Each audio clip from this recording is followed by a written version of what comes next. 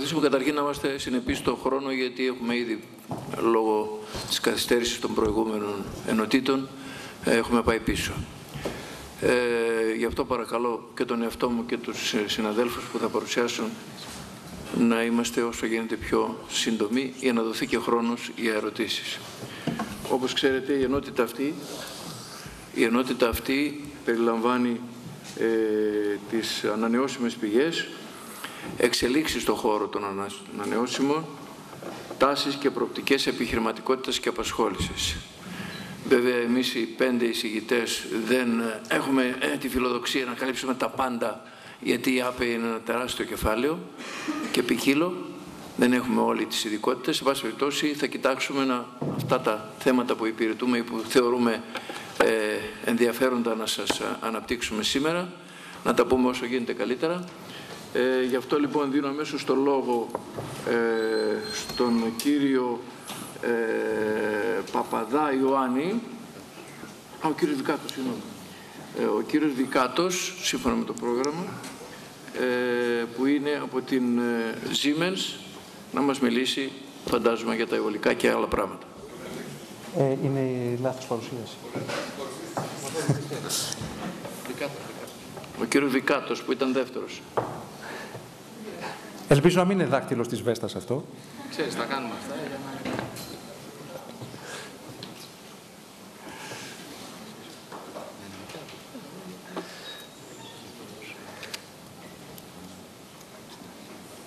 Είχα αποφασίσει να πω κάποιο ανέκδοτο σε περίπτωση που υπάρχει νεκρός χρόνος, αλλά θα προτιμήσω να το αφήσω γιατί ίσως σα δροσίσω πάρα πολύ.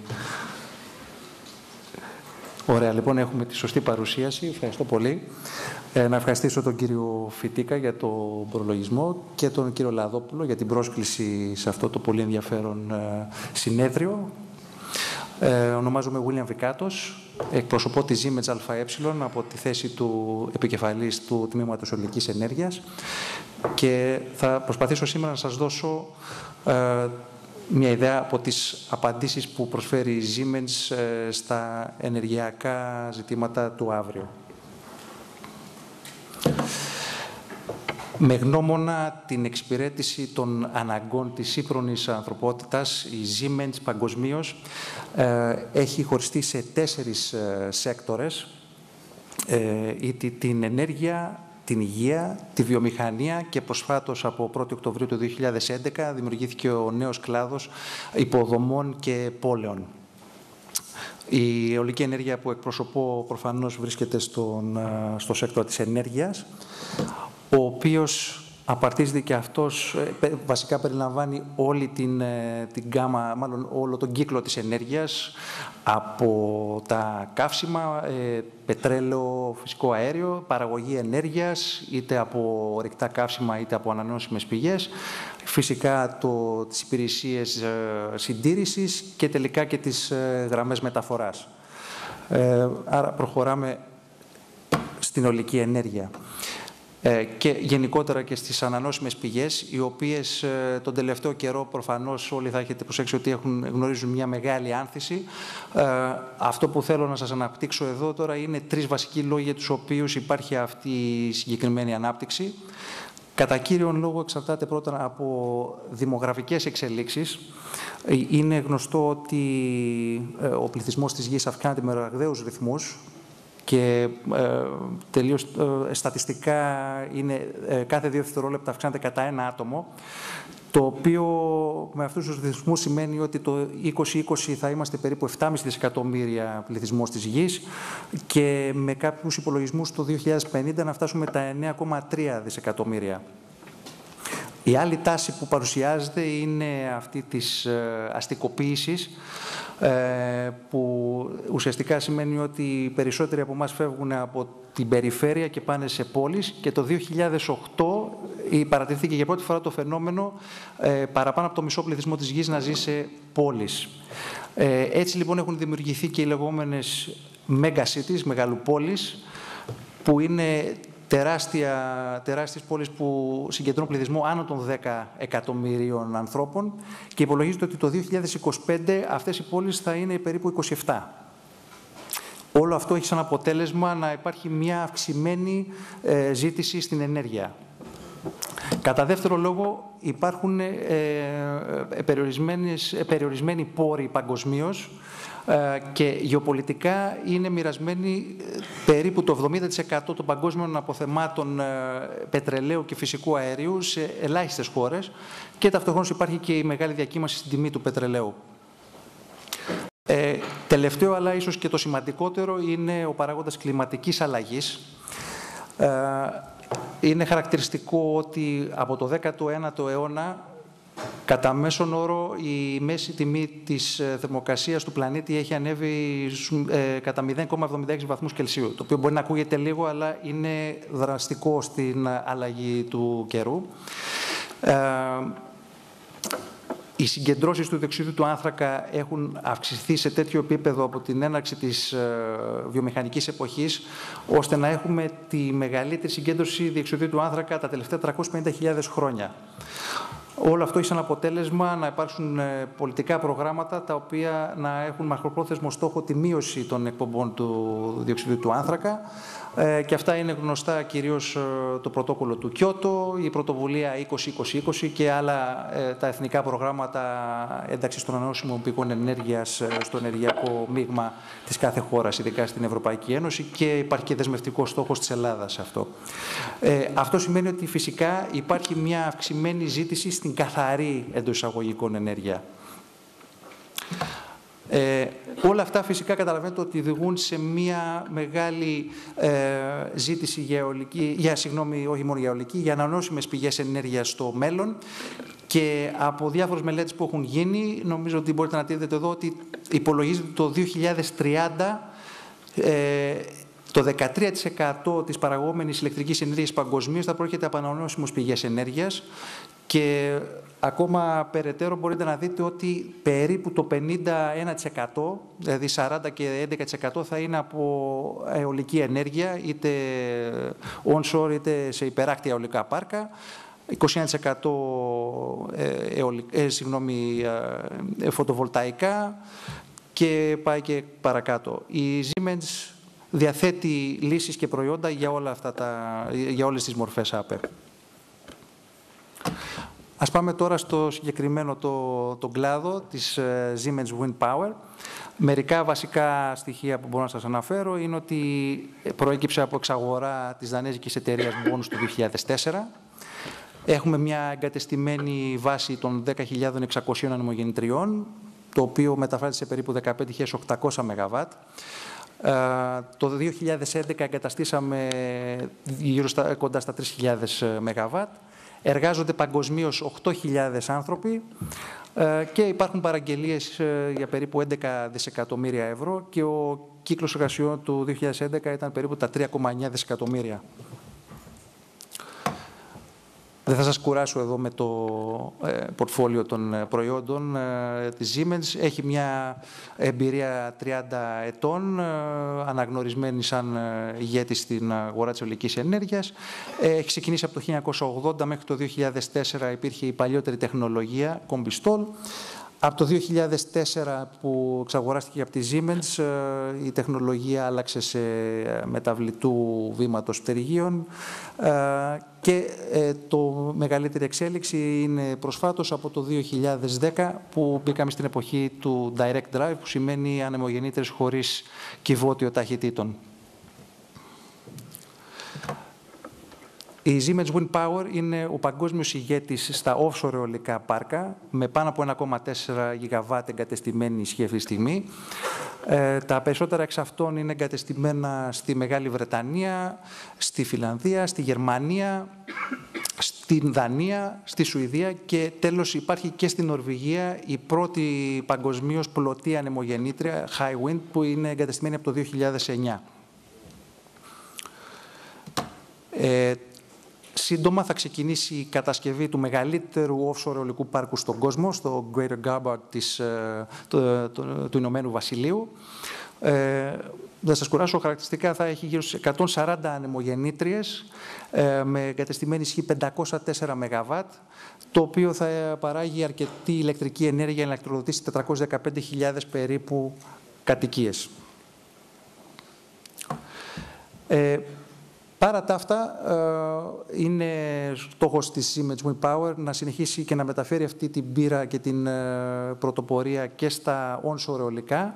Ε, ήδη είμαστε νούμερο ένα στη Μεγάλη Βρετανία, κατέχουμε την τρίτη θέση στις Ηνωμένες Πολιτείες και στον Καναδά κατέχουμε μια ηγετική θέση, αλλά κυρίως στο περιοχή του Οντάριο, που είναι και συγκεντρωμένη η μεγαλύτερη ολική ισχύ. Εκεί έχουμε την πρώτη θέση. Η Siemens και κατ' επέκταση και η Siemens Wind Power δίνει μεγάλη σημασία στην έρευνα και στην τεχνολογία και στην ανάπτυξη και διαθέτει μεγάλα κονδύλια κάθε χρόνο και έχει σαν μία από τις τρεις βασικές αξίες της είναι η καινοτομία. Ε, χάρη σε αυτή τη βασική αξία έχει προκύψει η επαναστατική νέα ανεμογεννήτρια τύπου Direct Drive, που σημαίνει ότι δεν έχει κυβότιο ταχυτήτων. Ε, η πρώτη παρουσιάστηκε τον Απρίλιο του 2010 ε, η Direct Drive τεχνολογία αυτή τη στιγμή της Siemens δίνει 50% λιγότερα ε, εξαρτήματα από μία αντίστοιχη με κυβότιο ταχυτήτων. Έχει ε, σχεδίαση με περιορισμένες διαστάσεις, αλλά ταυτοχρόνως και αυξημένη ισχύ ελαχιστοποιεί το κόστος ενέργειας για τον παραγωγό και τελικά να πούμε ότι η εξέλιξη αυτής της σειράς ε, με την καινούργια τεχνολογία έχει φτάσει στα 6 ΜΒ που είναι για όσο ώρα ανεμογεννήτρια και θα σας δείξω ε, αργότερα.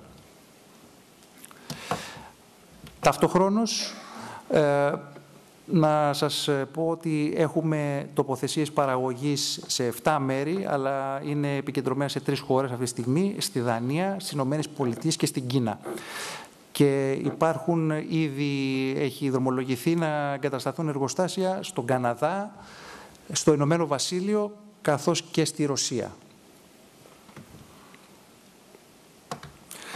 Ε, με όλα αυτά, ε, συνοψίζοντας, ε, είναι κατανοητό ότι η Siemens Wind Power ε, και έχει θέσει κάποιους ε, στόχους, τους οποίους, από ό,τι φαίνεται, βρίσκεται σε καλό δρόμο και πιστεύουμε ότι θα συνεχίσουμε σε αυτό το δρόμο. Αλλά όλα αυτά είναι εφικτά λόγω των ανθρώπων που δουλεύουν στη Siemens. Και γι' αυτό η Siemens δίνει πολύ σημασία στην εξέλιξη των ανθρώπων που εργάζονται για αυτήν. Ήδη το 2011 δαπανίσαμε 250 εκατομμύρια ευρώ σε εκπαίδευση και κατάρτιση των ε, υπαλλήλων παγκοσμίως.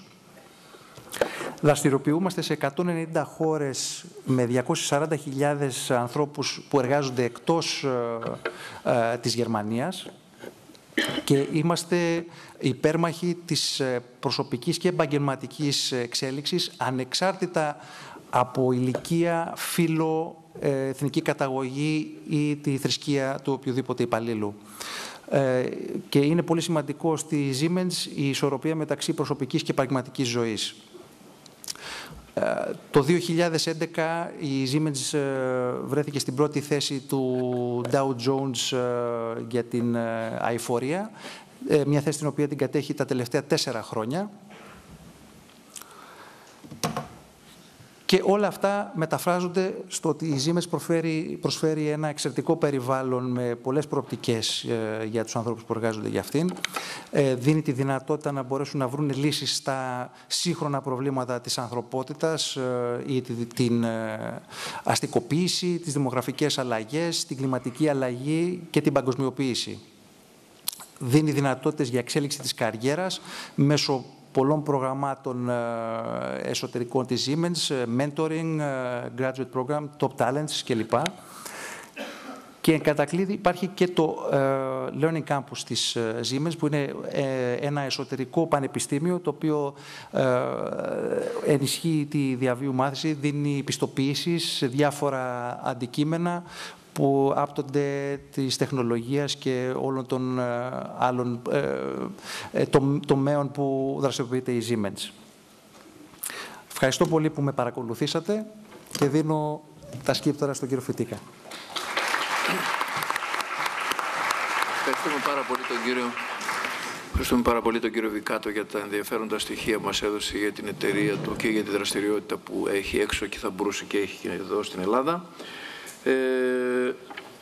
διαδικασία για την ενότητα ολόκληρη. Θα έχουμε ερωτήσεις στο τέλος ανα, αναομιλητή. Οπότε όποιος θέλει να ρωτήσει κάτι να σκρατήσει την ερώτηση για το τέλος. Ε, πάμε λοιπόν στη δεύτερη παρουσίαση πάλι για την ε, ολική ενέργεια.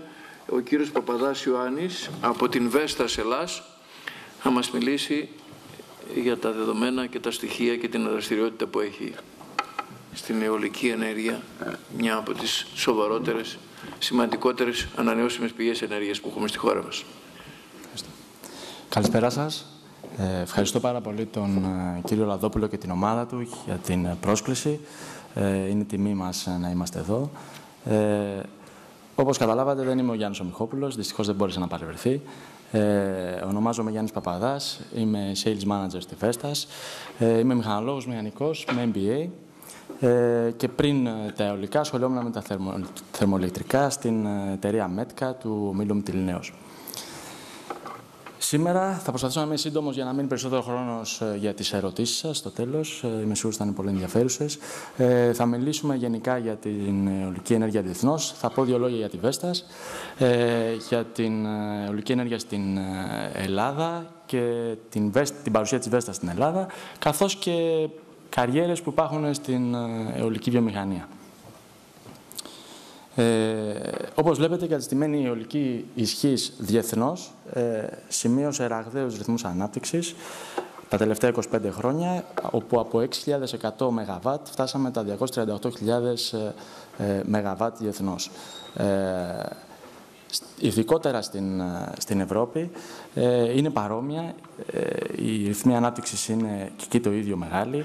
Η εγκαταστημένη ισχύ έφτασε στα 94.000 ΜΒ, που αντικατοπτρίζει ένα ποσοστό 40% ε, της διεθνούς ε, εγκαταστημένης ισχύως και οι κυριότερες αγορές ε, σε μέγεθος ε, για το 2011 φαίνονται στα δεξιά σας, ε, όπου εκεί έχει και η Ελλάδα φέτο, πέρσι την τιμητική της να αναφέρεται, μιας και ήταν η χρονιά ρεκόρ για τη χώρα, με 311 ΜΒ, όταν κινούμασταν γενικά σε μέσους όρους περίπου 100 ίσως και κάτω από τα 100 ΜΒ ε, πολλές φορές.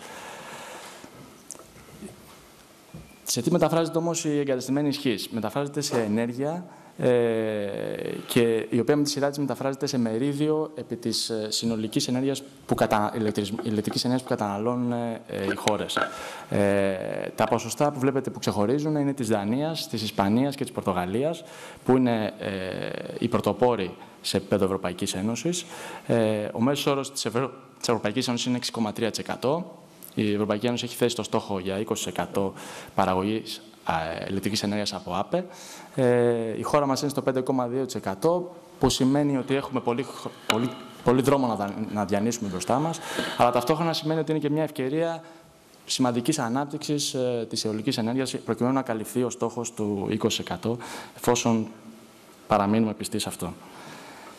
Ε, αυτό το έβαλα γιατί είναι, πολύ, ε, είναι ένα slide που δείχνει πώς, ε, πώς εξελίχθηκαν τεχνικο-οικονομικά τα πράγματα, ε, πώς υλοποιείται δηλαδή η τεχνολογική εξέλιξη τα τελευταία 25 χρόνια, με το μέγεθος των ανεμογεννητριών να ε, καταπλασιάζεται, δηλαδή από τα 30 κιλοβάτ να είμαστε τώρα στα 3.000 κιλοβάτ και αντίστοιχα το κόστος να πέφτει. Ε, είναι ένας τεχνικο-οικονομικός αγώνας προς ε, την εξίσωση των τιμών ε, παραγωγής ηλεκτρικής ενέργειας από της αιωλικής, ε, του πετρελαίου και του φυσικού αερίου. Αυτό εξάλλου είναι και το όραμα της Βέστας, η οποία ξεκίνησε την, την αιωλική βιομηχανία. Ε, εγκαταστήσαμε την πρώτη μας ανεμογεννήτρια το 1979 και μέχρι σήμερα ε, έχουμε εγκαταστήσει πάνω από 46.000 ανεμογεννήτριες διεθνώς σε 69 χώρες. Αντιπροσωπεύουν πάνω από 50.000 ΜΒ και είναι το μόνο που κάνουμε. Δηλαδή δεν έχουμε άλλα, ε, άλλες δραστηριότητες. Ε, ε, ο άνεμος είναι η δραστηριότητά μας. Εδώ θα ήθελα να ε, μου επιτρέψετε να χρησιμοποιήσω ποδοσφαιρική ορολογία ε, και να πω ότι στο Μουντιάλ ε, ο πρωταθλητής κόσμου είναι η Βέστας. με τη, είναι ο νούμερο ένα παίκτη σε, σε μερίδιο αγοράς ε, διεθνώς και στα επιμέρους εθνικά πρωταθλήματα ε, είμαστε στους φιναλίστ, δηλαδή ε, είτε πρώτη, δεύτερη, είτε τρίτη θέση, με εξαίρεση δύο αγορές, της ε, Κίνας και της Ινδίας, που είναι λίγο πιο ειδικές αγορές, με διαφορετικούς κανόνες και πολύ, πολύ σκληρό ανταγωνισμό. Τι γίνεται όμως στην Ελλάδα; Στην Ελλάδα έχουμε το μεγαλύτερο μερίδιο της αγοράς, πάνω από 50%. Ακολουθούν τρεις γερμανικές εταιρείες, η Enercon, η Siemens και η Nordex ε, και μια ισπανική εταιρεία. Ποιοι είναι όμως οι επενδυτές ε, της αιωλικής ενέργειας ε, στην Ελλάδα; Θα έλεγα στις πέντε πρώτες θέσεις είναι κυρίως, μάλλον όχι, υπάρχουν και πολυεθνικοί μεγάλοι όμιλοι και ελληνικές εταιρείες. Υπάρχει η EDF που είναι ο νούμερο ένα παίκτης αυτή τη στιγμή στην αγορά από τη Γαλλία, η Μπερντρόλα από την Ισπανία, η Τέρνα Ενεργειακή μέλος της, ε, του γνωστού ομίλου Τέρνα, η Ενέλα από την Ιταλία και ο Άκτορας ε, ε, μέσω της ιατρικής του Ελληνική Τεχνολογική Άνεμος. Ακολουθούν πολύ σοβαροί παίκτες, οι οποίοι όλοι, ανεξαιρέτως, έχουν μεγάλα πλάνα μπροστά τους για περαιτέρω ανάπτυξη της θέσης τους ε, στην ελληνική αγορά. Στην Ελλάδα η Βέστας έχει μια ισχυρή παρουσία, ε, βρίσκεται πάνω από 10 χρόνια στην, στην αγορά, ε, απασχολεί περίπου 120 ε, εργαζομένους ε, και το κύριο αντικείμενο της εταιρείας είναι οι πωλήσεις, η εγκατάσταση και η συντήρηση των ανεμομετριών μας ε, στην Ελλάδα, την Κύπρο και κάποιες βαλκανικές χώρες γειτονικές μας. Όλα αυτά τα χρόνια έχει, έχει αναπτυχθεί μεγάλη τεχνογνωσία ε, στο κομμάτι της, της, ε, του ολικού δυναμικού ε, της Ελλάδος και της Κύπρου.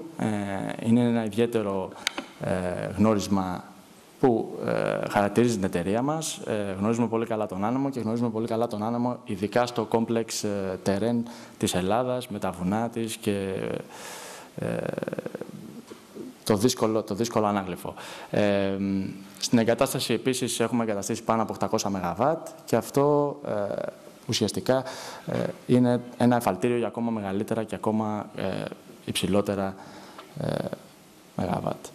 Ε, στην, στο, στον τομέα του σέρβις, το τμήμα του σέρβις συντηρεί πάνω από 800 ΜΒ, περίπου 50 ε, φάρμες, έχει ε, έχει service centers και αποθήκες στρατηγικά τοποθετημένες ώστε να καλύπτουν όλο τον ελλαδικό χώρο όπου υπάρχουν αιωλικά πάρκα της εταιρείας μας και απασχολεί πάνω από 80 εκπαιδευμένους και επιστοποιημένους τεχνικούς για να φέρνει πέρα στο το έργο της και να κρατάει τι μηχανέ σε λειτουργία και παραγωγή και άρα έσοδα για τους ε, πελάτες μας. Τώρα θα ήθελα να σας πω δύο λόγια για, την ε, αξία της, της αιωλικής βιομηχανίας ε, στην, ε, στην, στο, ε, στο πλαίσιο της Ευρωπαϊκής Ένωσης. Αυτά τα στοιχεία είναι από την Ευρωπαϊκή Ένωση Ολικής Ενέργειας. Τα νούμερα θα διαβάζετε και μόνοι σας για το 32 δις συμβολή της στο, στο ΑΕΠ, όπως και τους 4, τα, κοντά 4 δις φόρους συνολικά της ολικής βιομηχανίας στην Ευρωπαϊκή Ένωση. Θα ήθελα να, να σας επισημάνω αυτό, δηλαδή την, την ε, αξία που υπάρχει στους παράπλευρους, ε, σε έμεσους δηλαδή συνεργάτες και έμεσες βιομηχανίες εντός της, ε, εντός της Ευρωπαϊκής Ένωσης, που είναι τα μέταλλα, τα πλαστικά, τα ηλεκτρολικός εξοπλισμός, οι μεταφορές, οι κατασκευές, οι συμβουλευτικές οικονομικές υπηρεσίες, η πληροφορική. οι οποίοι είναι όλα μαζί γρανάζια, έτσι όπως το δείχνει η διαφάνεια, είναι όλα μαζί γρανάζια που κινούνται ώστε να, μπει σε, να, να μπορέσει να παραχθεί ανεμογεννήτρια, να κατασκευαστεί, να μεταφερθεί στο, στο, στο site, να ε, υλοποιηθεί το έργο και στη συνέχεια να συντηρηθεί και να παράξει για τον πελάτη. Εργασία. Το 2010, 240.000 άτομα απασχολούνταν στην ολική ενέργεια στην Ευρωπαϊκή Ένωση. Ε, έμεση και άμεση ε, απασχολούμενοι. Ε, οι προβλέψεις είναι πολύ αισιόδοξες. Ε, εφόσον συνεχιστούν τα εφόσον τηρηθούν οι στόχοι της Ευρωπαϊκής Ένωσης για τη δίζηση της αιωλικής ενέργειας και κάνουν λόγο για 520.000 ε, ε, εργαζομένους μέχρι το 2020 και υπαρτριπλασιασμό το 2030 στους 800.000. Αντίστοιχα μεγάλη θα είναι η συμβολή το, στο ΑΕΠ από 32 δις ευρώ στα 170 δις ε, ευρώ το 2030. Στη Βέστας, τι κάνουμε, τι μπορεί να κάνει κάποιος ε, ε, στη Βέστας; Οι κύριες δραστηριότητες είναι η ανάπτυξη των προϊόντων, ε, πωλήσεις, παραγωγή, ε, δηλαδή τα εργοστάσια μας, κατασκευή στο site, ε, δηλαδή στα βουνά όπου στείνονται τα έργα ε, και το service των ανεμετριών. Όλα αυτά βέβαια για να δουλέψουν χρειάζονται υποστηρικτικές υπηρεσίες και συναδέλφους στο marketing και την επικοινωνία, στη διασφάλιση ποιότητας, ασφάλειας, στη διαχείριση ανθρωπίνου δυναμικού, τη διαχείριση της εφοδιαστικής αλυσίδας, ε, στην πληροφορική, στα νομικά φυσικά και στα οικονομικά. Και στα οικονομικά έχει, έχει μια ιδιαίτερη σημασία στο τρέχον περιβάλλον που είμαστε, όπου δυσκολεύονται πάρα πολύ οι πελάτες μας να βρουν χρήματα για να, να αναδιωτήσουν τα έργα τους και να προχωρήσουν τα έργα. Ε, και εκεί αναζητούνται λύσεις αντισυμβατικές, θα τις έλεγα, ε, λύσεις ε, που θα, θα εξασφαλίζουν τη χρηματοδότηση και το έργο θα προχωρήσει. Σας ευχαριστώ πάρα πολύ. Και στη διάθεσή σας στο τέλος για ερωτήσεις. Ευχαριστούμε πάρα πολύ τον κύριο Παπαδά που μας είπε ενδιαφέροντα πιστεύω πράγματα για την πολύ σημαντική και μεγάλη δραστηριότητα που έχει η εταιρεία του στην χώρα μας και στην Ευρώπη γενικότερα και στον κόσμο. Ε, η Ολική έχει, όπως ξέρετε, μεγάλο μέλλον και παρόν και στη χώρα μας και έχει ενδιαφέρον ιδιαίτερο, ειδικά για τους νέους ανθρώπους, να ακολουθήσουν έναν δρόμο. Εμείς οι περί τα περί της ΑΠΕ υποστηρίζουμε όλες, όσο μπορεί ο καθένας από την μεριά του, αλλά εκείνες οι οποίες, για τις οποίες η χώρα μας έχει ιδιαίτερα ευνοηθεί, όπως η ολική, πιστεύω ότι έχει και μέλλον και πρέπει να το μεγαλώσουμε πολύ περισσότερο, ε, να μεγαλώσουμε τη φέτα που έχουμε ε, στις ανανεώσιμες και στην ηλεκτροπαραγωγή. Ε, ο επόμενος ομιλητής, ο δόκτωρ Κιαρτζής Σπύρος, μέλος του Διοικητικού Συμβουλίου ε, ελληνικά πετρέλαια ανανεώσιμες πηγές ενέργειας ΑΕ, μηχανολόγος και οικονομολόγος από το Αριστοτέλειο.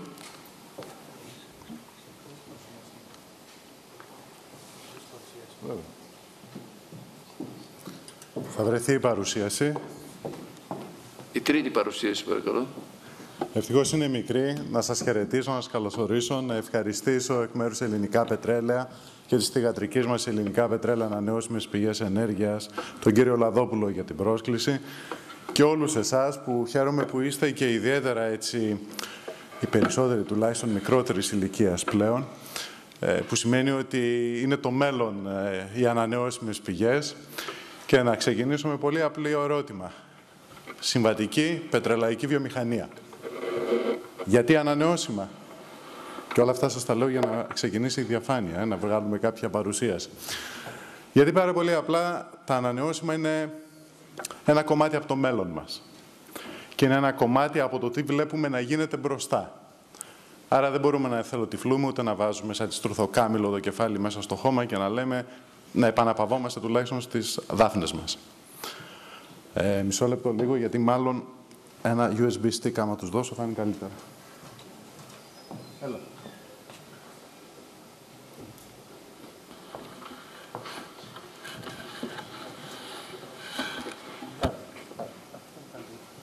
Θα βρεις ένα πανόραμα.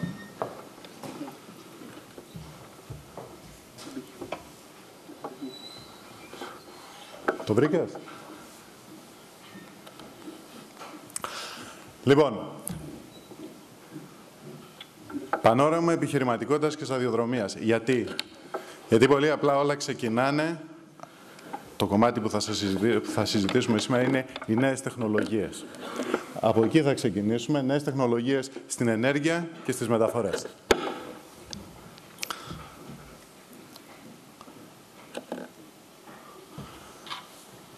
Κοιτώντας μπροστά, όπως σας είπα πιο πριν, έχουμε το φαινόμενο της κλιματικής αλλαγής. Έχουμε μία προσπάθεια με την οποία θέλουμε να μετασχηματίσουμε τον κόσμο μας από, το, από σήμερα σε κάτι καινούριο το 2050, σε 40 χρόνια από τώρα. Πώς θα το καταφέρουμε, αναπτύσσοντας νέες τεχνολογίες για να ξεπεράσουμε καταρχήν τα διέξοδα που αντιμετωπίζουμε σήμερα, τα οποία τα διέξοδα εκτός από τεχνικά είναι και οικονομικά. Ο προηγούμενος συνάδελφος έδειξε την μεγάλη μείωση του κόστους στις ανεμογεννήτριες, στα φωτοβολταϊκά, στη βιομάζα, σε οτιδήποτε. Είναι σχεδόν ισοδύναμες οι πτώσεις. Είναι μια εκθετικά φθήνουσα καμπύλη. Και όλα αυτά εδώ πώς θα γίνουνε; Σταδιακά, ομαλά, έτσι ώστε να μπορέσουμε να πάμε από το σήμερα σε έναν κόσμο που θα έχει μειωμένο αποτύπωμα άνθρακα. Και πώς θα γίνει αυτό, δεν υπάρχει ένας τρόπος. Υπάρχουν πολλοί που δουλεύουν παράλληλα, που δουλεύουν ταυτόχρονα, δράσεις, πολιτικές, ο ιδιωτικός τομέας, ο δημόσιος τομέας, το κομμάτι ε, που δίνει ένα θεσμικό πλαίσιο για το πώς θα κινηθούμε, έτσι ώστε να έχουμε μία μετάβαση στην καινούρια πραγματικότητα με δύο πολύ σημαντικούς παραμέτρους. Την ασφάλεια του εφοδιασμού και την οικονομική βιωσιμότητα αυτού που κάνουμε. Για την οικονομική βιωσιμότητα νομίζω ότι είναι αυτονόητο. Για την ασφάλεια του εφοδιασμού θα σας πω κάτι πολύ απλό. Ακόμα και αν ήταν απολύτως βιώσιμο οικονομικά να αντικαταστήσω σήμερα το 100% της παραγωγής ενέργειάς μου με μια πηγή η οποία είναι διαλειπτόμενη όπως είναι οι ανανεώσιμες, θα έχανα την ασφάλεια του εφοδιασμού. Άρα θα έπρεπε να έχω και ένα backup σχέδιο για να δω πώς θα αντιμετωπίσω αυτό το πρόβλημα. Και εκεί έγκυται κυρίως σε τεχνικά θέματα. Θα σας πω μόνο μια διαφάνεια, θα δεν θα σας κουράσω και πολύ, για να σας δώσω έναν ορίζοντα για το πού έχουμε ανοίξει και ταυτόχρονα και τις ε, δυνατότητες σταδιοδρομίες οι οποίες υπάρχουν. Θα σας πω ότι σαν ελληνικά πετρέλα έχουμε ένα όραμα. Το όραμά μας είμαστε, είναι να είμαστε πρωτοπόρος διεθνής ενεργειακός όμιλος με διαρκή βιώσιμη ανάπτυξη. Εφόσον έχουμε παρουσία σε όλα τα Βαλκάνια, σε πάρα πολλές χώρες, από τη Βουλγαρία, την Κύπρο, Μαυροβούνιο, Σερβία και ε, πλήθος άλλος ε, δραστηριότητες εμπορικές, διήλυσης, βιομηχανικής δραστηριότητας. Βιώσιμη ανάπτυξη γιατί ό,τι κάνουμε το κάνουμε με γνώμονα τους σεβασμούς στο περιβάλλον, με ένα όραμα για νέες τεχνολογίες, με ένα όραμα για μια καινούρια α, μειωμένου ή χαμηλότερου ενεργειακού αποτυπώματος δραστηριότητα και γι' αυτό η αποστολή μας είναι να είναι ενέργεια για τη ζωή. Και σας το λέω γιατί η μεγάλη γκάμα των προϊόντων η οποία έχουμε καλύπτει όλο το κομμάτι το ενεργειακό, ξεκινώντας από την κλασική διήλυση, εξού και το όνομά μας, πετρέλαια, την πετρελαϊκή βιομηχανία, την πετροχημική βιομηχανία, τα χημικά, το κομμάτι της ηλεκτροπαραγωγής από συμβατικές ε, πηγές με τα εργοστάσια μας, τα οποία είναι συνδυασμένου κύκλου, το κομμάτι των ανανεωσίμων πηγών ενέργειας, το κομμάτι της εμπορίας, του φυσικού αερίου και όλα τα υπόλοιπα. Και ο στρατηγικός στόχος ποιος είναι; Να μετασχηματιστούμε σε έναν καινοτόμο αξιόπιστο προμηθευτή ενεργειακών προϊόντων και υπηρεσιών του μέλλοντος. Και πώς το κάνουμε; Μερικά βήματα. Για να πάρουμε κάποιες ιδέες. Καταρχήν, ανανεώσιμες πηγές ενέργειας. Ένα κομμάτι. Θέλουμε να μπορέσουμε να αντικαταστήσουμε ένα κομμάτι από τις 250.000 περίπου τόνους ετησίως θέλουμε να αντισταθμίσουμε από τις εκπομπές CO2 που έχουμε από όλες τις δραστηριότητες. Είτε στο κομμάτι της διήλυσης, είτε στο κομμάτι της ηλεκτροπαραγωγής. Η οποία σημειωτέο είναι με φυσικό αέριο, που σημαίνει ότι είναι ε, πολύ πιο χαμηλότερου ανθρακικού αποτυπώματος σε σχέση με αν ήταν ανθρακική μονάδα. Σήμερα έχουμε ένα χαρτοφυλάκιο σχεδόν 100 ΜΒ. Ε, αν θέλετε, το ακριβή νούμερο είναι 96, κάτι, αλλά ε, το στρογγύλεψα για χάρη της παρουσίασης. Φωτοβολταϊκά, βιομάζα, το αγαπημένο μας παιδί, μια μονάδα η οποία ελπίζουμε σύντομα να γίνει, ε, να μεγαλώσει, να έρθει σύντομα και η επόμενη. Και ταυτόχρονα δουλεύονται πάρα πολλά ε, έργα ΑΠΕ, αιωλικά, ένα υβριδικό επίσης, που θα υπάρχει και αντλιοταμίευση, τα οποία ε, υποβάλλονται, γίνονται κάποιες μετρήσεις ή σχηματίζονται τα τεχνικά στοιχεία στους φακέλους για να υποβληθούν. Μια άλλη πολύ σημαντική δραστηριότητα, η οποία είναι η πιο συμβατή με τις δραστηριότητές μας, είναι το κομμάτι των βιοκαυσίμων. Και έτσι φεύγω από την κλασική ανανεώσιμη πηγή ενέργειας που ως τώρα συζητήθηκε, γιατί ε, θα ήθελα να, να δούμε όλο το κομμάτι. αιωλικά, φωτοβολταϊκά, βιομάζα, βιοκαύσιμα.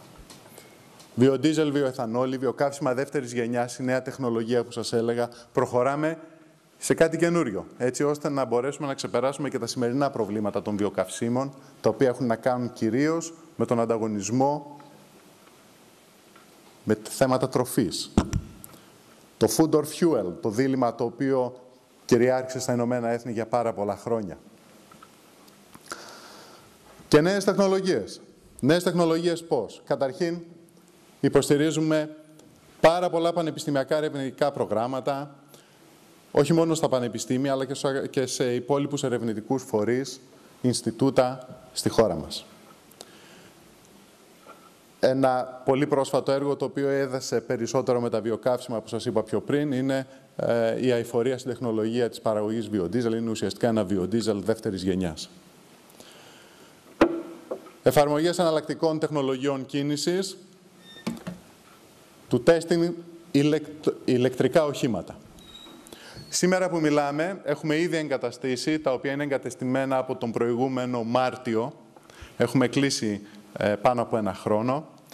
Τρεις σταθμούς φόρτισης ηλεκτρικών οχημάτων στην Αθήνα. Ένα στη Γλυφάδα, ένα στο Μαρούσι και ένα στην Κηφισιά, σε τρία αντίστοιχα πρατήρια της ΕΚΟ. Και η ελληνικά καύσιμα είναι της BP, που είναι και αυτή θηγατρική. Όχι μεγάλη BP, η BP Ελλάδος.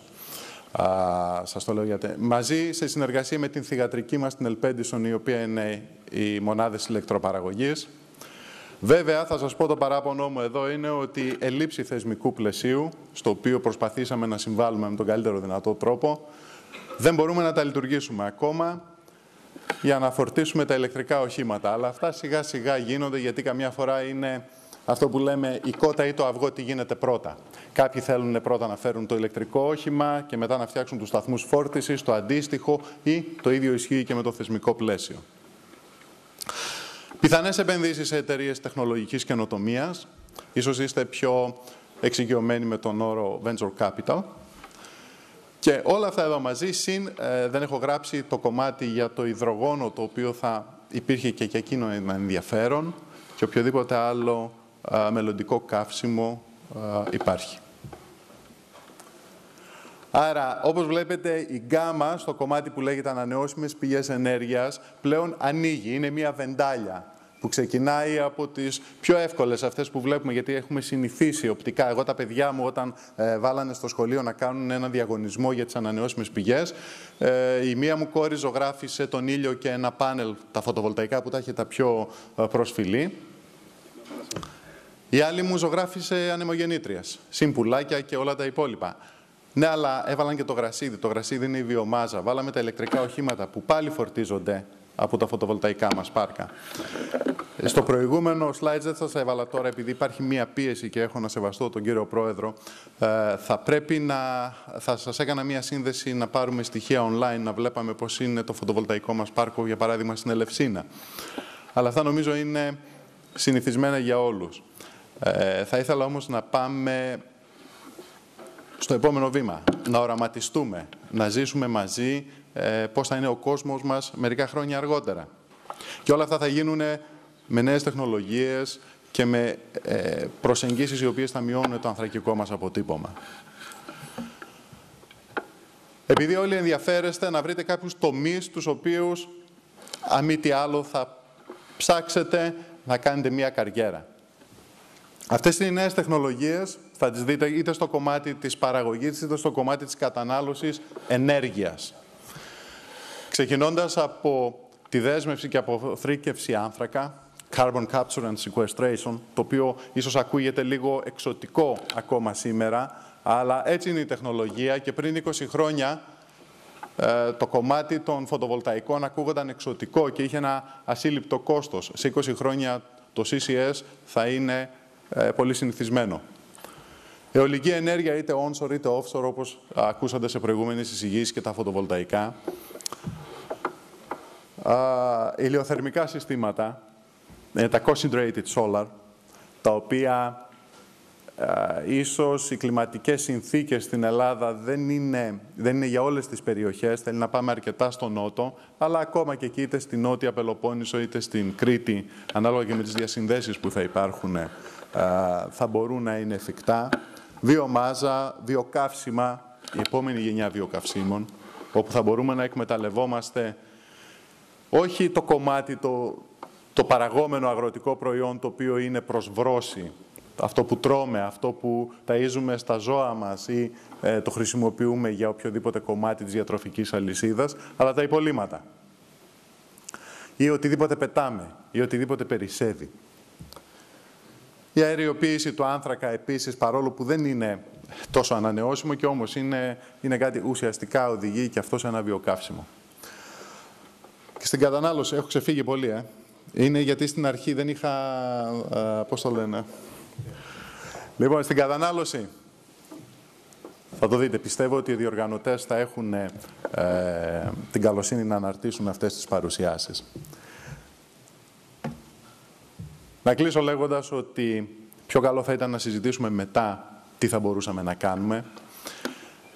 Εμείς στην ελληνικά πετρέλαια πιστεύουμε ότι η ενέργεια είναι ενέργεια για τη ζωή, είναι ενέργεια για ζωή και τη ζούμε. Έχουμε ένα όραμα το οποίο βασίζεται στο κομμάτι που λέγεται βιώσιμη ανάπτυξη. Όπως βλέπετε είναι ο μικρός κύκλος στο κέντρο.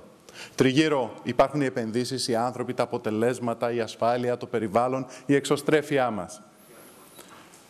Ε, νομίζω ότι αυτή θα πρέπει να ήταν και μία προσέγγιση στο ερώτημα πώς μπορούμε να δούμε την επιχειρηματικότητα και τη σταδιοδρομία σήμερα για το χώρο των ανανοσίμων πηγών. Ευχαριστώ πολύ.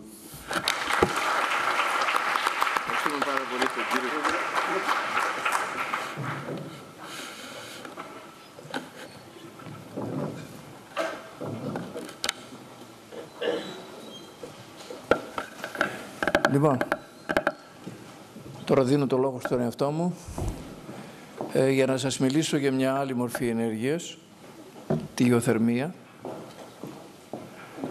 Ε, μέχρι τώρα δεν αναφέρθηκε καθόλου. Είναι δυστυχώς η πιο αδικημένη μορφή ενέργειας από τις ανανεώσιμες στη χώρα μας, παρόλο ότι η τεχνολογία και η γεωθερμία και οι γεωθερμικές εφαρμογές στον κόσμο με όλες τις ευνοϊκές επιπτώσεις έχουν ξεκινήσει και έχουν προχωρήσει αρκετά ε, και μολονότι στη χώρα μας έχουμε πολύ καλές ευνοϊκές συνθήκες.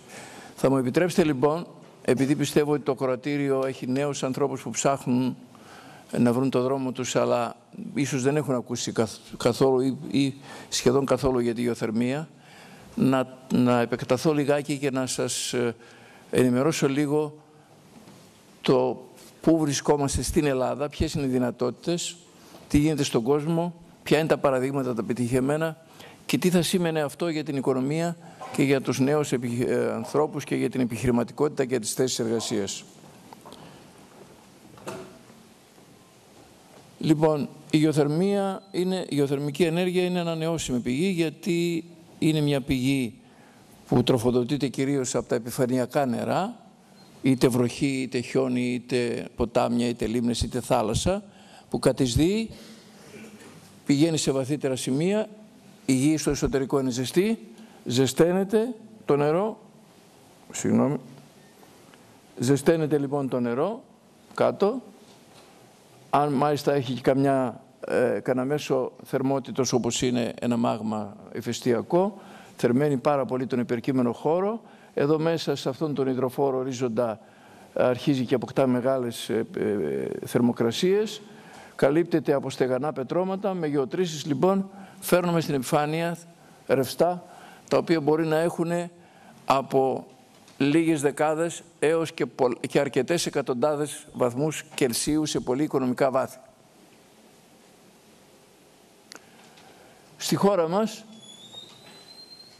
ε, με σιγουριά ξέρουμε από τις έρευνες που έχουν ξεκινήσει το 1971 από το ΕΓΜΕ κυρίως, ε, έχουν βρεθεί, έχει βρεθεί ότι είναι μια χώρα ευνοημένη, από τις, από τις περισσότερο ευνοημένες στο, στην Ευρώπη.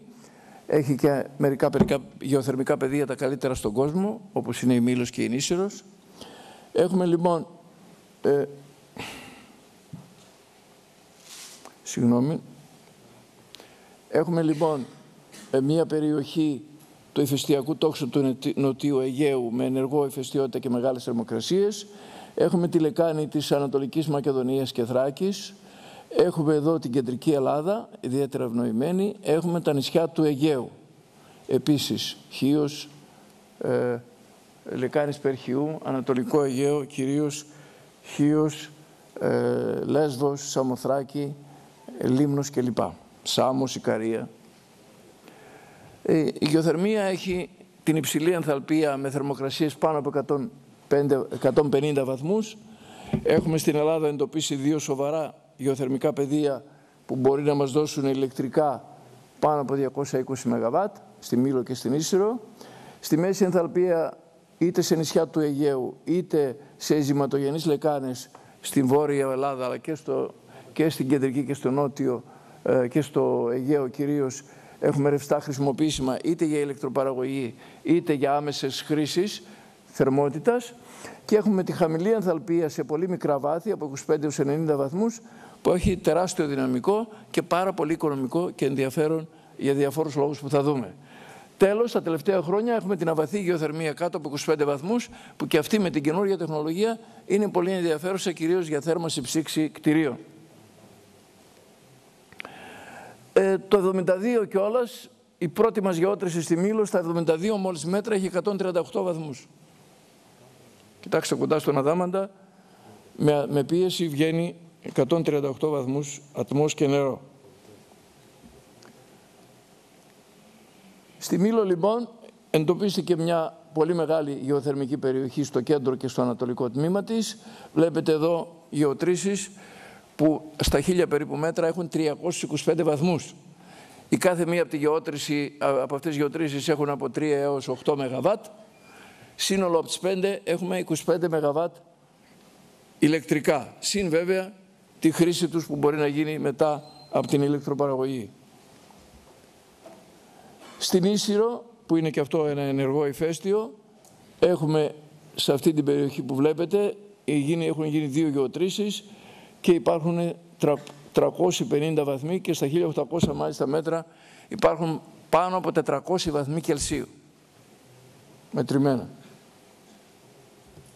Επειδή είναι ενεργό ηφαίστειο, βλέπετε εδώ ε, τα γεωθερμικά, οι γεωτρήσεις και οι ισόθερμες καμπύλες. Εδώ λοιπόν στην Ίσυρο, μία γεώτρηση σε αυτό το σημείο και μία απέναντι, έχουν δώσει, είπαμε, 380-400 βαθμούς και οι άλλοι 350 βαθμούς Κελσίου στα 1500 μέτρα βάθος. Έχουμε και άλλες πολύ σημαντικές περιοχές. Στην, παραδείγματος χάρη, στη Λέσβο υπάρχουν διάφορα γεωθερμικά πεδία, στην κεντρική και βόρειο. Εδώ έχουμε 100 βαθμούς στα 100 μέτρα, εδώ έχουμε λιγότερο. Πάση περιπτώσει όλη αυτή η περιοχή της Λέσβου είναι πολύ σημαντική από γεωθερμική άποψη. Στοιχείο έχει εντοπιστεί ένα πεδίο που στα 300-400 μέτρα έχει 80 βαθμούς νερό, σε μεγάλες, 88 ε, βαθμούς νερό σε μεγάλες ε, ποσότητες. Κοιτάξτε εδώ στην Λέσβο πόσα γεωθερμικά πεδία και πόσες περιοχές με διάφορες θερμοκρασίες που έχουν 92, 68, 86 βαθμούς σε πολύ οικονομικά βάθη. Μιλάμε για γεωτρήσεις των 100, 200, 250 μέτρων που είναι πάρα πολύ φτηνές. Για να βρουν 90 βαθμούς οι Γερμανοί κάνουν 2.000 μέτρα και τα εκμεταλλεύονται. 2.000 μέτρα γεώτρηση. Μια άλλη μεγάλη περιοχή γεωθερμική είναι η Ανατολική Μακεδονία και Θράκη, όπου έχουμε περιοχές εδώ σαν τον Ακροπόταμο με 90 βαθμούς στα 500 μέτρα, άλλα γεωθερμικά πεδία, Ερατινό, Εράσμιο, εδώ στη Βιστονίδα, ε, εδώ στο Αρίστινο της Καβάλας και τα λοιπά. Βλέπετε τις αντίστοιχες θερμοκρασίες και μιλάμε όλα σε μικρά βάθη, διότι ήταν αυτά που μπορούσε να κάνει το γεωτρύπανο του Ιγμέ, δηλαδή μέχρι 500 μέτρα. Κοιτάξτε εδώ, μία γεώτρηση στο Ερατινό της Καβάλας, στο Ελντοράντο, εκεί στο, στην πεδιάδα αυτή, έχουμε μετρήσει 122 βαθμούς στα 1300 μέτρα. Έχουμε έναν υδροφόρο εδώ και έναν υδροφόρο με 70, 75, 80 βαθμούς στα 600-700 μέτρα που είναι και αρτεσιανός, βγαίνει το νερό χωρίς πίεση. Κοιτάξτε τον ακροπόταμο Καβάλας.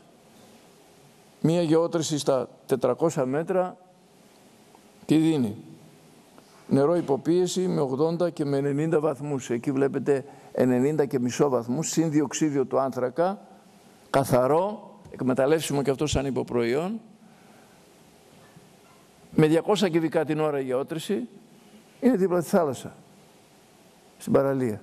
Ισχύει 15 ΜΒ και ισοδύναμα πετρελαίου μόνο από μία γεώτρηση που είναι στα 500 μέτρα. 515 μέτρα είναι η, η δεύτερη αυτή γεώτρηση.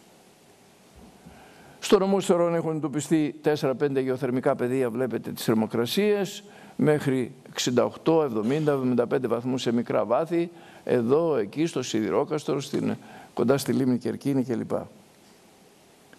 Ε, στην Κεντρική Μακεδονία Κοντά στη Θεσσαλονίκη έχουμε πεδία με μικρότερες θερμοκρασίες, αλλά σε πολύ μικρά βάθη, 40, 46, 58 στη Νέα Πολωνία, στη Βόλβη. Συγγνώμη. Ε,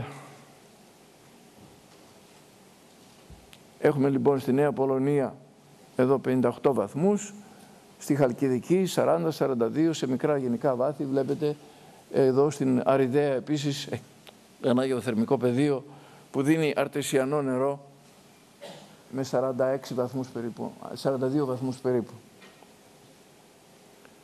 Γεωθερμικά πεδία έχουμε στην κεντρική Ελλάδα, στην Θερμοπύλες το νερό τρέχει και ζεσταίνει τη θάλασσα από την εποχή του Λεωνίδα και πολύ πιο, πιο μπροστά. Στην Εδιψό έχουμε βρει 80 βαθμούς σε πολύ μικρό βάθος. Στο Σουσάκι Κορινθίας 150 μέτρα 75 βαθμούς. Νέα Παιδεία, Νίκια Θεσσαλίας, Σκυλάδας Περχιού, Ιάλτρα, Αντίριο, Σικές Σάρτας, 48 βαθμούς. Καινούρια παιδεία. Ας πάμε στις χρήσεις. Άρα λοιπόν έχουμε και υψηλή ενθαλπία και μέση και χαμηλή ενθαλπία μπόλικη στην Ελλάδα και κυρίως στην κεντρική και στην ανατολική και στην περιοχή του Αιγαίου. Οι γεωθερμικές εφαρμογές ε, ξεχωρίζουν ανάλογα με τη θερμοκρασία. Βλέπετε, αν έχουμε 300 και 200 βαθμούς κάνουμε ρεύμα. Αλλά ακόμη και με 120 και με 90 βαθμούς μπορούμε να βγάζουμε ρεύμα σήμερα με την τεχνολογία. Μπορούμε να κάνουμε άλλες βιομηχανικές χρήσεις με αυτές τις θερμοκρασίες. Μπορούμε να κάνουμε τηλεθερμάνσεις κτηρίων, βιομηχανικές χρήσεις πάρα πολλές που βλέπετε εδώ. Δεν έχουμε χρόνο δυστυχώς για λεπτομέρεια όταν πάμε σε μικρότερες θερμοκρασίες έχουμε θερμοκήπια, μανιτάρια, ψάρια, ε, το διοξίδιο σαν ανθρακικό για τα αναψυκτικά, σαν υποπροϊόν, ψήξη και όταν σήμερα με την τεχνολογία έχουμε και μικρότερες θερμοκρασίες και με 20 και με 15 βαθμούς κάνουμε θέρμαση ψήξη κτηρίων με οικονομικά, θα σας δείξω μερικά παραδείγματα με, με οικονομικά στοιχεία. Ε, βέβαια για την υψηλή ενθαλπία, όταν κυρίως το ρευστό έχει και νερό και ατμό και κάποια αέρια και με τον εξή αυτόν λίγο υδρόθιο που ενοχλεί γιατί μυρίζει, η τεχνολογία έχει προχωρήσει και μας λέει ότι μπορούμε με διαχωριστή να κάνουμε τον ατμό ρεύμα, αυτό να προθερμάνουμε εδώ πέρα ρευστό χαμηλούς σημείου ζέσης, ξαπνιστής, δεύτερος στρόβιλος, συμπίκνωση, κλειστό κύκλωμα, παραδείγματος χάρη του φρέων, και μετά το γεωθερμικό ρευστό μέσα στη, στη γεώτρηση, για να μην βγαίνει τίποτα πάνω, η τεχνολογία αυτή υπάρχει. Αν την είχαμε χρησιμοποιήσει στη Μήλο δεν θα είχαμε τα προβλήματα αυτά που αντιμετωπίσαμε και δυσφημίσαμε άδικα τη γεωθερμία. Θα μπορούσαμε λοιπόν να έχουμε περισσότερη ε, ηλεκτροπαραγωγή και καθαρότητα των περιβάλλον. Κοιτάξτε κάποια παραδείγματα. Στη Χαβάη, παραδείγματος χάρη, δουλεύουν και βγάζουν το 30% του ρεύματος στη Χαβάη βγαίνει από τη γεωθερμία. Κάναν χαμηλά εδώ πέρα τους πύργους ψήξης. Βλέπετε άλλα εδώ στην Αμερική, στο Μεξικό, στην Εβάδα, διάφορα παραδείγματα για να δείτε πόσο καλά πάει η γεωθερμία. Μόνο στην Ελλάδα καταφέραμε και την κλείσαμε την υψηλή ανθαλπίας. Έχουμε και εδώ ρεκόρ αρνητικό. Κοιτάξτε εδώ, όταν έχουμε μικρότερες θερμοκρασίες, παραδείγματα, το γεωθερμικό νερό μπαίνει, ζεσταίνει το φρέον, το φρέον εξατμίζεται, παράγει ρεύμα, εδώ κρυώνει, ξαναέρχεται πίσω το φρέον, μπαίνει στο, στο κύκλωμα. Κοιτάξτε, μοναδίτσες δεν χρειάζεται ούτε, ούτε σκέπασμα. Δεν έχουν ούτε καμία εξάτμιση, ούτε κανένα αέριο κτλ. Σε κλειστό κύκλωμα λοιπόν αυτές οι μοναδίτσες των, 230, ε, όπως το λένε, των, 25, των 250 ΜΒ, ε, κιλοβάτι κάθε μια, με διαδικό κύκλο, έχουμε λοιπόν στο Ιούτα 238 ΜΒ. Από ρευστά των 90, 100, 110 βαθμών Κελσίου, πράγμα που έχουμε πάρα πολύ σε αυθονία σε πολλές χώρες, σε πολλές περιοχές της Ελλάδος. Εδώ στο Μόναχο, μία γεώτρηση στα 3.500 μέτρα περίπου, αυτή εδώ, βγάζει 120 βαθμούς, έχει 3,5 ΜΒ, μετά πάει σε μια πλαϊνή γεώτρηση και με κλίση φεύγει κάτω στον ταμιευτήρα, όλα κλειστό κύκλωμα, εδώ είναι η μονάδα ηλεκτροπαραγωγής και δίπλα η μονάδα θέρμανσης. Μετά την ηλεκτροπαραγωγή έχουν τηλεθέρμανση ενός μεγάλου τμήματος του, του μονάχου. Είναι ο καλύτερος τρόπος για να αντιμετωπίσουμε όλα τα περιβαλλοντικά προβλήματα της γεωθερμίας, βλέπετε εδώ πέρα, είναι η ολική επανεισαγωγή με κλειστό κύκλωμα κτλ. Ε, στον κόσμο το 2007 είχαμε περίπου 10.000, το 10 φτάσαμε τα 11.000 ΜΒ ηλεκτρικά. 27 χώρες χρησιμοποιούν τη γεωθερμική ενέργεια για ηλεκτροπαραγωγή. Ε, έχουμε πρώτη τις ΗΠΑ και μετά τις Φιλιππίνες και η Ινδονησία. Στην Ευρώπη αρκετές χώρες, ακόμα και η Γερμανία και η Αυστρία, που δεν έχουν ενεργά ηφαίστεια, που δεν έχουν τις συνθήκες τις δικές μας, έχουν ηλεκτροπαραγωγή από γεωθερμία. Στην Ελλάδα δυστυχώς καμία μονάδα δεν δουλεύει. Μία, μία είχαμε κάνει στη Μήλο, έκλεισε. Κοιτάξτε εδώ στον κόσμο πώς είναι αυτές οι χώρες που έχουν γεωθερμία. Έτσι βλέπετε και στην Ευρώπη, Ισλανδία, Ιταλία, Γαλλία κτλ. Ηνωμένες Πολιτείες, 27 χώρες συνολικά. Βλέπετε εδώ 10.000 ΜΒ εγκατεστημένα και αυτή είναι η τάση αύξησης παραγωγής γιατί η τεχνολογία προχωράει και προχωράει και ανεβαίνει περισσότερο η παραγωγή ηλεκτρικής ενέργειας. Να, ένα παράδειγμα εδώ, στη Γερμανία με 155 βαθμούς έχουμε 38 και μετά το νερό πάει για θέρμανση για άμεσες χρήσεις και τελικά υπανισάγεται στον ταμιευτήρα στο βάθος 3.000 τόσων μέτρων βλέπετε με θερμοκρασία 50 βαθμών. Βέβαια συνδυαστικές εφαρμογές μετά την ηλεκτρική χρήση. Έχουμε πολλές, παραδείγματος χάρη παράδειγμα εδώ στην Ισλανδία, όπου το ρευστό μετά, μετά, μετά τη μονάδα κάνει τα Blue Lagoon, που επισκέφτονται πάρα πολλοί τουρίστες και ντόπιοι για λουτροθεραπεία. Ε, τέτοιες ε, συνδυαστικές εφαρμογές είχαμε ένα project στη Μήλο με πολύ ρηχά ρευστά σε 100-150 μέτρα βρήκαμε ένα ταμιευτήρα πάρα πολύ πλούσιο σε νερά των 90-95% βαθμών Κελσίου. Κοιτάξτε εδώ αυτές οι γεωτρήσεις που δείχνουν ότι έχουμε 90, 95, 100, 100 βαθμούς και παραπάνω στα 100-120 μέτρα βάθος. Βλέπετε το νερό που βγαίνει και μετριέται, δεν έχει ούτε αέρια κτλ. Και υπήρξε ένα πρόγραμμα και υπάρχει ακόμα, δεν υλοποιήθηκε ακόμα, για ηλεκτροπαραγωγή στη συνέχεια αφαλάτωση, στη συνέχεια ε, άλλες χρήσεις. Δηλαδή θερμοκήπια ή ε, θέρμαση κτηρίων κτλ.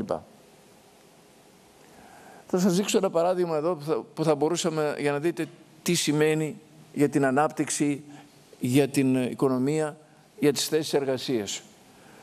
Εκεί στην ε, Χρυσούπολη Καβάλας με τις γεωτρήσεις που σας έδειξα έχουμε βρει ότι μπορούμε να βρούμε άνετα 150 βαθμούς στα 1500-1700 μέτρα.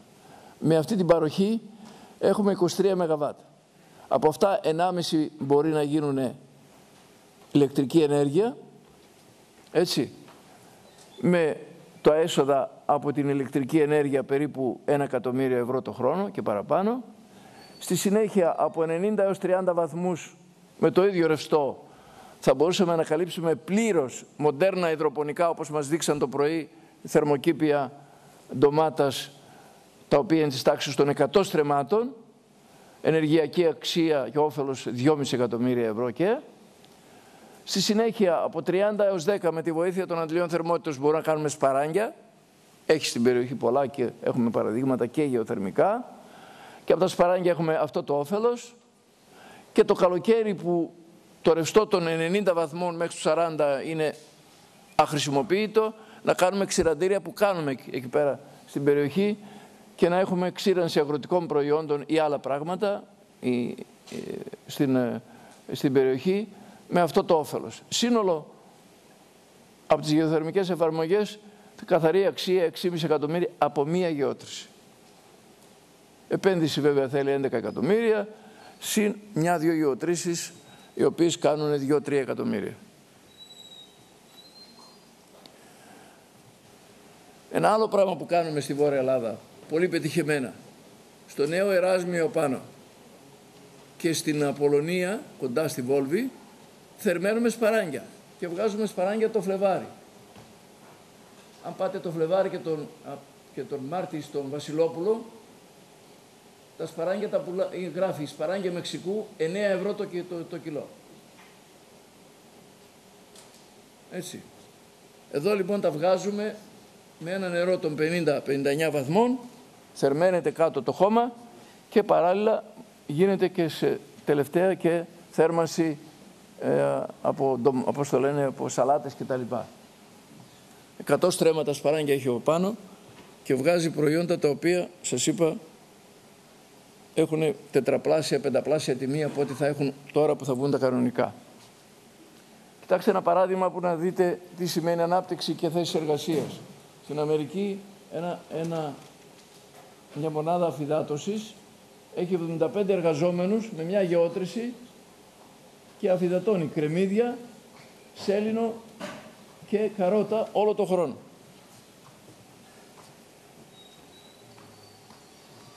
Βέβαια κάναμε και εδώ, στο Νέο Εράσμιο, ένα πολύ ωραίο παράδειγμα με αφιδατοτήριο, ντομάτα, τύπου λιαστή, 4-5 τόνους την ημέρα το ένα και τώρα γίνει και δεύτερο, δεύτερη μονάδα, με ένα νερό των 59 βαθμών.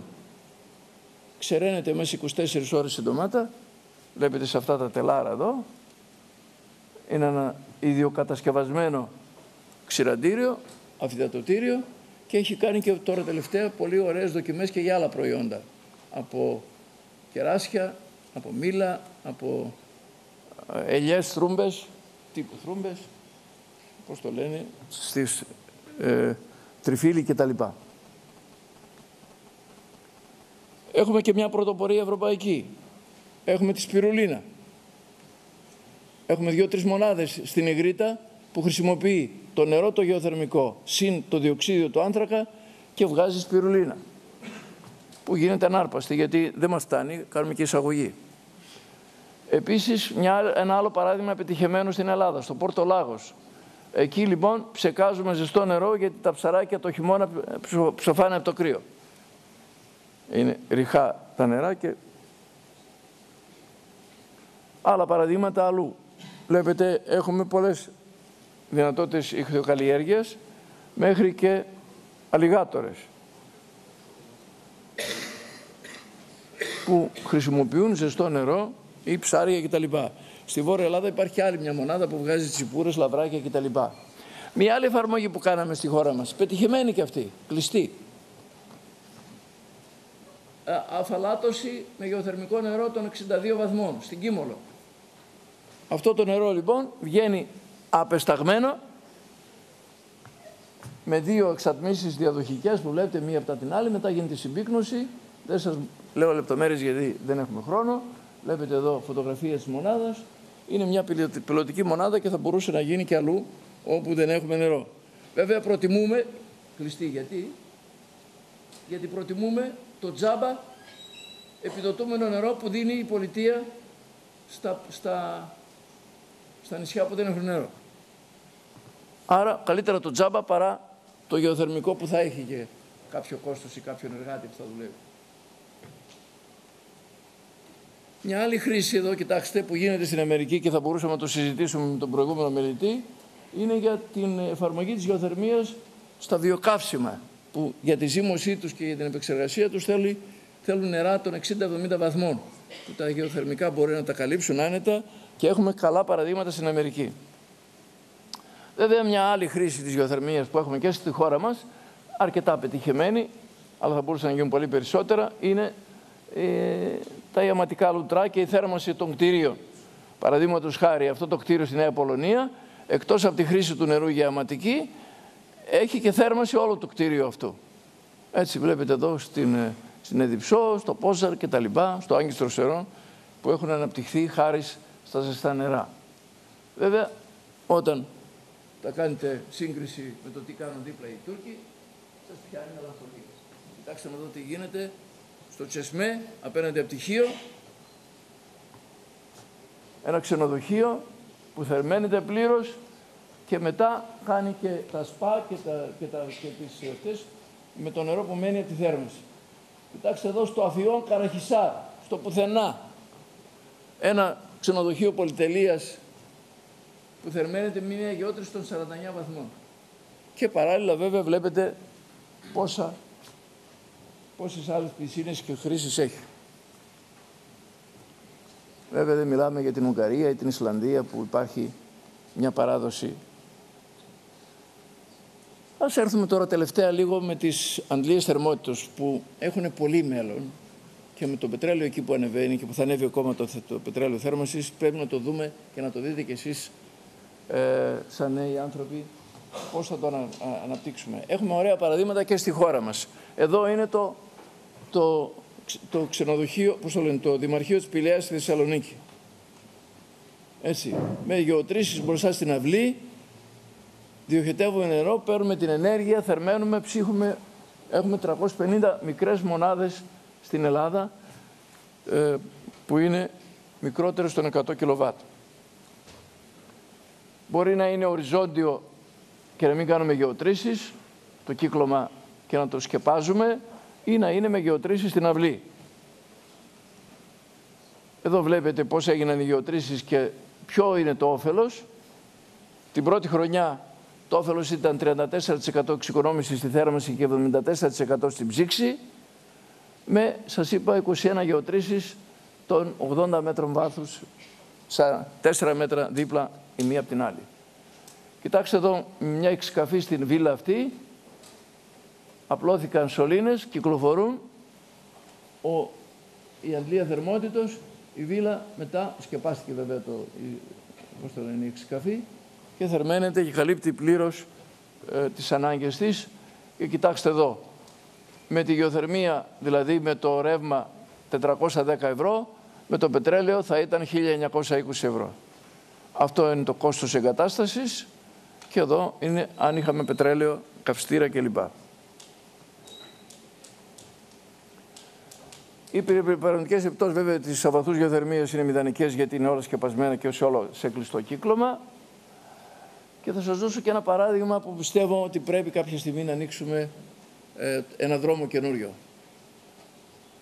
Παράδειγμα συγκεκριμένο και εφαρμοσμένο, δεν είναι η φαντασία δική μου στο Χρυσοχώρι, στο Χρυσοχώρι Καβάλας 40 στρέμματα. Έχει μια γεώτρηση για να ποτίζει το καλοκαίρι. Το χειμώνα λοιπόν αυτή η γεώτρηση που έχει 19 βαθμούς και 45 κυβικά την ώρα βγάζει 18 κιλοβάτ. Λοιπόν, απορρίπτει το νερό με 10, άρα έχουμε ένα δέλτα τάφο 8,8, έχουμε αυτά τα κιλοβάτ εγκατεστημένα και με ρεύμα που, που, που, πώς το λένε, που παίρνει η αντλία θερμότητας για να δουλεύει, ξοδεύει 6.000 και μισό ευρώ και θερμαίνει 40 στρέμματα σπαράγγια για προήμιση και το, κόστο, και το όφελος από την προήμιση είναι 96.000 ευρώ το χρόνο. Πρέπει να τελειώνω. Ναι, κοιτάξτε εδώ, ακριβώς εκεί στο Χρυσοφόρη πώς θερμαίνεται. Εδώ είναι ένα θερμοκήπιο, επίσης ένα παράδειγμα με 18 και 19 βαθμούς μπορούμε να θερμάνουμε τέσσερα στρέμματα. Τέσσερα στρέμματα και να έχουμε 20% σε σχέση με τη χρήση του πετρελαίου. Αυτά είναι τα νούμερα, δεν προλαβαίνουμε να τα πούμε. Κοιτάξτε, η τεχνολογία που μπορεί και σε μικρές θερμοκρασίες σε συνδυασμό και με τον ήλιο, εδώ αυτά, αυτές οι σακούλες εδώ έχουν και γεωθερμικό νερό χαμηλής θερμοκρασίας και ήλιο. Και ένα άλλο παράδειγμα βέβαια που δεν προλαβαίνουμε να το αναλύσουμε που έχει από υπάρχουσες γεωτρήσεις των 20 βαθμών μπορούμε να κάνουμε 4 και 4 8 στρέμματα θερμοκήπια με αντλίες θερμότητας. Και βέβαια να έχουμε ε, πώς το λέει, κόστος θέρμανσης το 1 δέκατο σε σχέση με το πετρέλαιο. Το 1 δέκατο. Και με μια γεωθερμία που κοιτάξτε να δείτε τι γίνεται. Πώς ήταν το Reykjavik και πώς είναι το Reykjavik.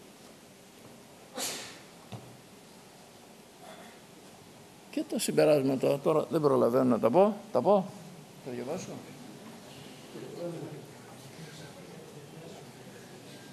Ωραία. Λοιπόν, τελειώνω.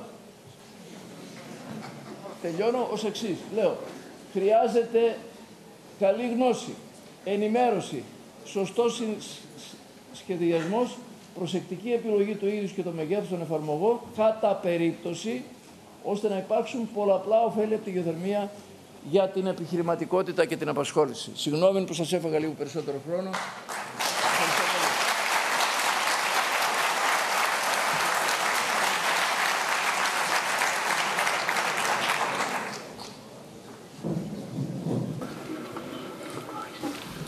Καλησπέρα σας. Λοιπόν, ο κύριος Μαυρουδής, ο τελευταίος ομιλητής. Παρακαλώ. Λέγομαι Κώστας Μαυρουδής και ήθελα να συγχαρώ τον καθηγητή τον κύριο Λαδόπουλο για την εκδήλωση που έχει οργανώσει και ήταν μεγάλη τύχη για μένα που υπήρξα φοιτητής του. Οι ανανεώσιμες πηγές ενέργειας τα τελευταία χρόνια έχει διαπιστωθεί ότι είναι ένα όχημα για ανάπτυξη. Αυτό είναι διαπιστωμένο και δεν σηκώνει καμία αμφισβήτηση. Το να δούμε όμως ποιες είναι οι τάσεις και ποιες οι προοπτικές, που είναι και το θέμα της ενότητας αυτής σήμερα, έχει ιδιαίτερη σημασία, με δεδομένο ότι η χώρα μας περνάει δύσκολα και θα πρέπει να γίνει μια αναστροφή για οικονομική ανάπτυξη. Οικονομική ανάπτυξη που θα είναι συνδεδεμένη και με την απασχόληση. Είτε αυτή η απασχόληση αφορά επιχειρηματική δραστηριότητα, είτε αφορά απασχόληση σε άλλες επιχειρήσεις κάποιων ανθρώπων που έχουν την κατάλληλη τεχνογνωσία. Η Ελλάδα είναι μια χώρα ιδιαίτερα πρικισμένη σε ανανεώσιμες πηγές ενέργειας. Τόσο σε ποσότητα, υπάρχει μεγάλο δυναμικό, αλλά και τόσο σε ποικιλία. Δηλαδή όλες οι αναγνωρισμένες μορφές ανανεώσιμων πηγών ενέργειας υπάρχουν στην Ελλάδα. Και για αυτές υπάρχει και η τεχνολογία η όρημη για να μπορέσει να γίνει η κατάλληλη εκμετάλλευσή τους.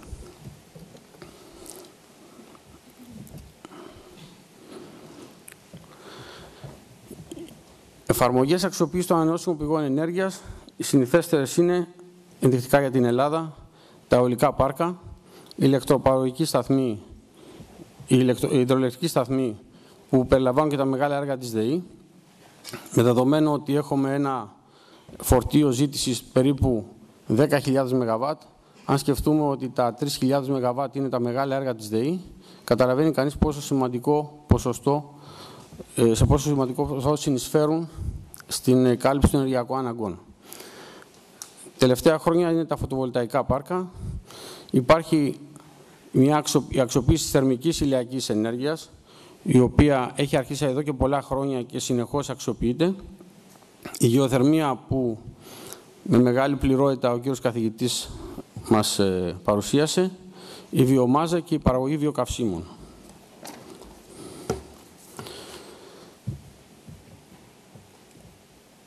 Για να γίνει μια σχετική εκτίμηση των τάσεων και των προοπτικών που, που υπάρχουν για την Ελλάδα, πρέπει να κοιτάξουμε τι έγινε μέχρι σήμερα, ποιοι παράγοντες επηρέασαν μέχρι σήμερα τις εξελίξεις, ενδεχόμενα αρνητικά, ποιες ευκαιρίες χάθηκαν Ποιες παράμετροι προβλέπετε να επηρεάσουν στο μέλλον τις εξελίξεις και τι προβλέπετε να γίνει στο μέλλον, παράλληλα με τις δυνατότητες που θα υπάρξουν και αν έχουμε και κάποιες προτάσεις.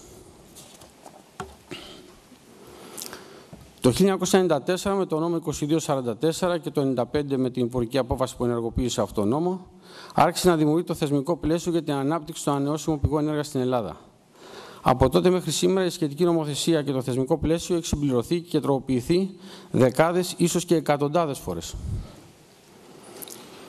Από προσωπική επιλογή και συγκυρίες το 1994 άρχισα την επαγγελματική μου δραστηριότητα με τις ανανεώσιμες πηγές ενέργειας και ειδικότερα την ολική ενέργεια.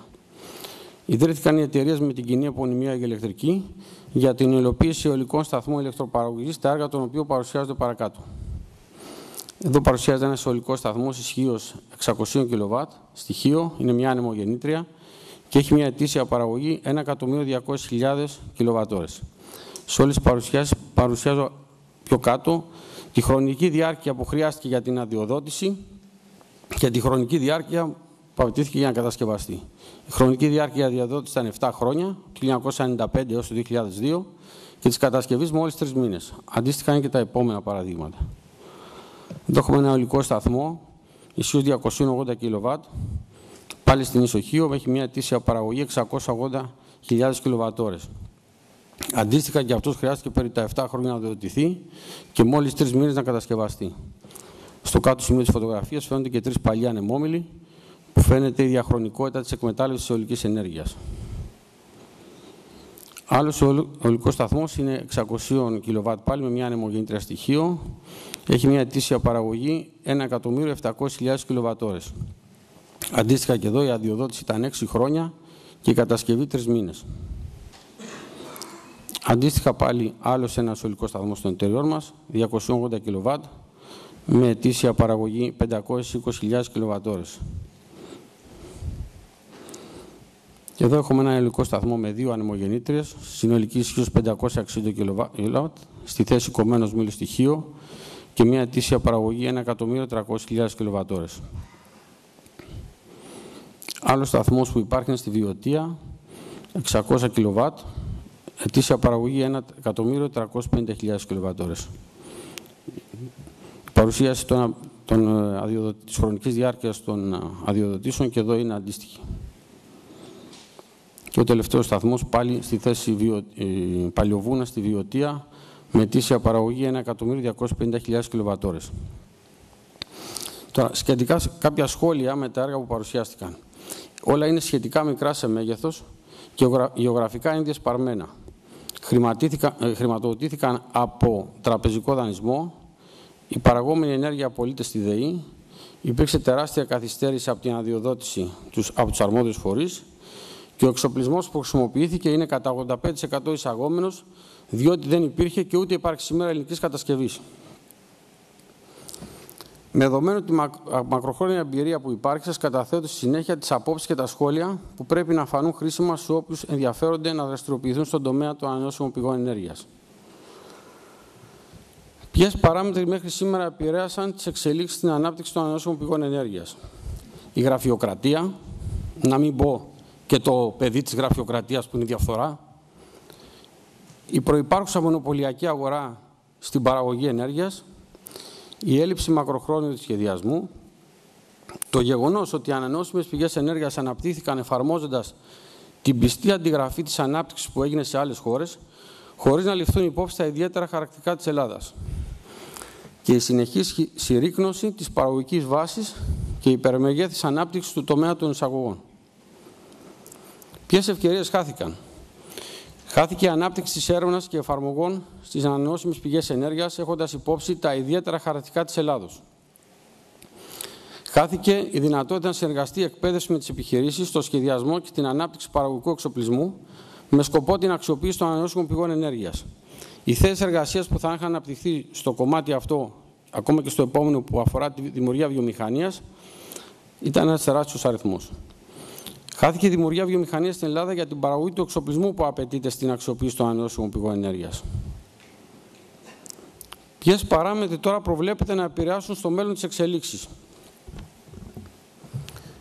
Η χρηματοπιστωτική ασφυξία στην Ελλάδα αλλά και στην Ευρώπη, έχοντας υπόψη ότι οι επενδύσεις σε ανανεώσιμες πηγές ενέργειας είναι μέχρι τώρα εντάσσεως κεφαλαίου, τα μεγέθη των εφαρμογών που σε ορισμένα είδη όπως την αιωλική ενέργεια είναι τεράστια, η αύξηση της τιμής των καυσίμων, και η εμφάνιση των αποτελεσμάτων της κλιματικής αλλαγής που τα επόμενα χρόνια δεν θα επηρεάζει μόνο την οικολογική συνείδηση, αλλά και τις οικονομίες. Τι προβλέπετε να γίνει στο μέλλον, δυνατότητες που θα υπάρξουν και προτάσεις. Θα υπάρξει επιβράδυση σε επενδύσει των ανανεώσιμων πηγών ενέργειας και ειδικά σε αυτές που έχουν μεγάλα μεγέθη και θα απαιτούν μεγάλα κεφάλαια. Θα γίνει ανάπτυξη εφαρμογών σε μικρά αλλά και σε μεγάλα μεγέθη που θα στοχεύουν στη μείωση κατανάλωσης ενέργειας αλλά και την υποκατάσταση σε σημαντικό ποσοστό της κατανάλωσης καυσίμων αξιοποιώντας ανανεώσιμες πηγές ενέργειας. Θα γίνει ανάπτυξη συστημάτων διαχείρισης, παράδειγμα τα ΕΦΗ δίκτυα, που σε συνδυασμό με τις ανανεώσιμες πηγές ενέργειας θα επιτυχάνουν υψηλούς βαθμούς απόδοσης. Θα αναπτυχθούν νέες τεχνολογίες με μεγάλο βαθμό απόδοση, όπως παραδείγματος τα οργανικά φωτοβολταϊκά. Θα αναπτυχθεί ο τομέας εξοικονόμησης ενέργειας που αποτελεί ένα πολύ δυναμικό τομέα με τεράστια προοπτική στην Ελλάδα. Αξίζει να σημειωθεί ότι επενδύσεις στην εξοικονόμηση ενέργειας αποσβαίνονται μέσα σε δύο χρόνια, δηλαδή έχουν βαθμό απόδοσης 50%. Σπάνια συναντούμε επενδύσεις με τέτοιο βαθμό απόδοσης. Η ανάπτυξη των εφαρμογών της γεωθερμίας, η οποία έχει μείνει αναξιοποιητή στην Ελλάδα, διότι παρότι υπάρχουν τεράστιες δυνατότητες, δεν υπήρξε ούτε η πολιτική βούληση μέχρι σήμερα, αλλά ούτε και το επιχειρηματικό ενδιαφέρον. Η δημιουργία στην Ελλάδα μικρομεσαίων επιχειρήσεων που θα παράγουν εξοπλισμό για την αξιοποίηση των ανανεώσιμων πηγών ενέργειας, λαμβάνοντας υπόψη τα ειδικά χαρακτηριστικά της χώρας. Αυτό είναι μονόδρομος. Θα δημιουργηθεί μεγάλος αριθμός με βάση τα παραπάνω θέσεων εργασίας στην ανάπτυξη των παραπάνω. Για την οποιαδήποτε δραστηριότητα στον τομέα της ανανεώσιμων πηγών ενέργειας χρειάζεται πρώτον σωστός σχεδιασμός, σωστή και διαρκής πληροφόρηση, επιμονή, αποφυγή κατά το δυνατό της γραφειοκρατίας, εφαρμογή απλών διαδικασιών, ειδικά στο θέμα των χρηματοδοτήσεων και πάνω απ' όλα αισιοδοξία. Σας ευχαριστώ για την προσοχή και είμαι στη διάθεση για τυχόν ερωτήσεις.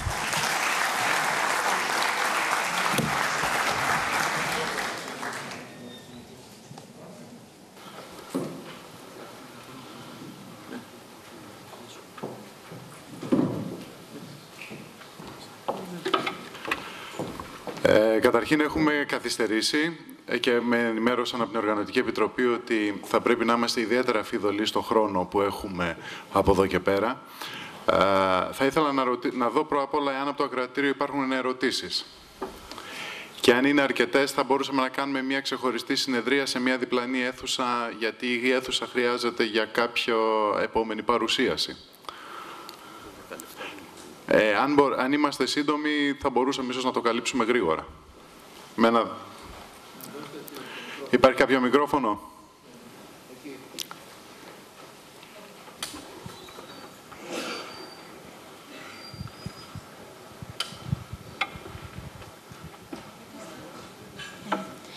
Ευχαριστούμε καταρχάς.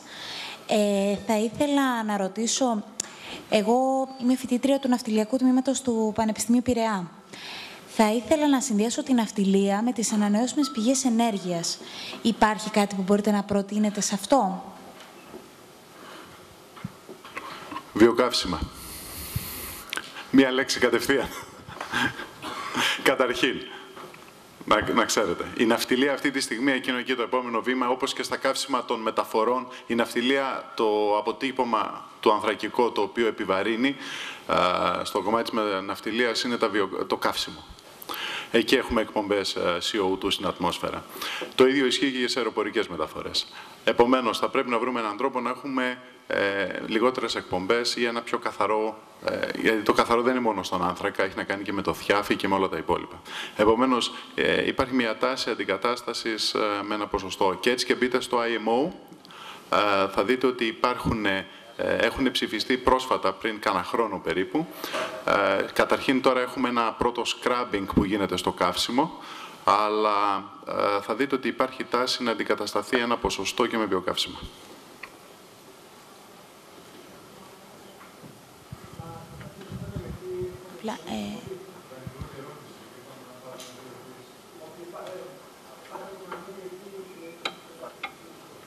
Οπότε, για προοπτικές επαγγελματικής κατάρτισης σε αυτό το τομέα, π.χ. κάποιο μεταπτυχιακό στα βιοκαύσιμα. Ε, αυτό έχει να κάνει με το... Ε, στην αυτιλία θα χειριστείτε τα οικονομικά. Ε, θα μπορείτε να δείτε, εφόσον έχετε την αυτιλία, θα δείτε το κομμάτι το ε, ναυτιλιακό ή το αντίστοιχο το, της διακίνησης του καυσίμου. Ε, δεν θα μπείτε εσείς στο κομμάτι της τεχνολογίας. Εγώ σας έδωσα το που υπάρχουν ανανεώσιμες πηγές στην ναυτιλία. Αλλά σαν οικονομολόγος θα πρέπει να διαχειριστείτε εκείνο το κομμάτι. Ή ακόμα και λίγο πιο ε, προχωρημένη, αν θέλετε, προσέγγιση, ε, μπορείτε να κάνετε ένα hedging στις εκπομπές που έχετε στο CO2 με κάποιο αντίστοιχο κομμάτι σε ένα χρηματιστήριο ρήπων. Λοιπόν, για να διευκολύνουμε την κατάσταση ε, όσον αφορά εμένα και τη γεωθερμία, ε, το email μου είναι ανοιχτό εννοείται σε όλους, έτσι φυτίκας, αούθ, gr, τέρμα. Όποιος θέλει ρωτάει και ό,τι μπορώ να απαντήσω. Είναι πολύ απλό. Έτσι.